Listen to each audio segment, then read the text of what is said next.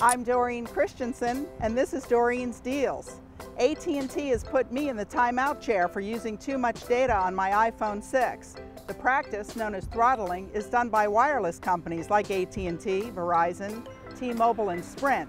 It slows down your high-speed connection to almost nothing. I've got tips and tricks for data hogs. The companies throttle to manage congestion on their networks. I say that's a bunch of baloney sausage. Each month, AT&T sells me unlimited data and text for about $125. Then, if I use more than 5 gigabytes of data in a month, it puts my connection in the super slow-mo lane. Worse, when I call to complain, AT&T tries to get me to agree to move to a mobile share value plan. Data throttling by wireless providers has drawn attention from the Federal Trade Commission. It's suing AT&T on behalf of consumers like you and me, contending this is an unfair business practice. So what's a data hog to do? Plenty. If you get throttled by your carrier, try my tips and tricks to try to get back in the fast lane. Call your carrier.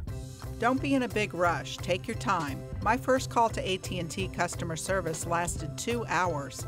I had other marathon sessions too. It takes time to work your way up the chain. As the saying goes, the squeaky wheel gets the oil. Don't take no for an answer. And don't be rude. Get your carrier to verify that you're being throttled. That took an hour. Then politely ask that your high speed connection be restored. Ask for a supervisor again and again if necessary until your carrier agrees.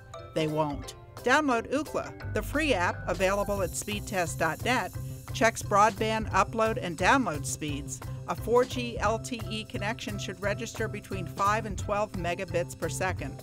I was down to 0.1 and could get nothing to load on my iPhone 6.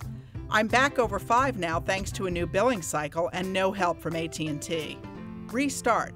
Put iPhone in airplane mode, found under settings, to disconnect from all networks. That could temporarily restore your connection when it pings a cell tower. If that doesn't help, restart your phone.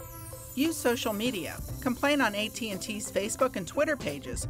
One tweet and I got a request for account information from AT&T Cares, which is a real irony. Still no help. Go to the FTC. I filed a written complaint with the Federal Trade Commission's Bureau of Consumer Protection. If none of these tips work, and they won't, call your carrier and demand a credit. It took me a bunch of calls to AT&T to get my unlimited $30 credit refunded on my bill. In the end, I got what I paid for. Nothing.